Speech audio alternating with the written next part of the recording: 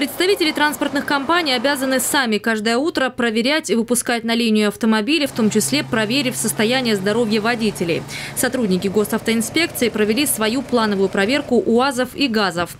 Не все машины, которые задействованы в джипинг-экскурсиях, были в идеальном состоянии. Составлено 57 административных материалов, из них 30 за неисправное рулевое управление и 3 за движение с неисправной тормозной системой.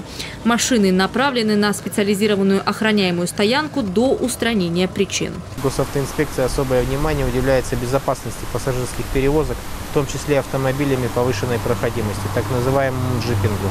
В рамках мероприятия совместными группами с привлечением специалистов Росприроднадзора, а также налоговой инспекции проверяется наличие необходимой документации, в том числе по вопросам обеспечения безопасности дорожного движения.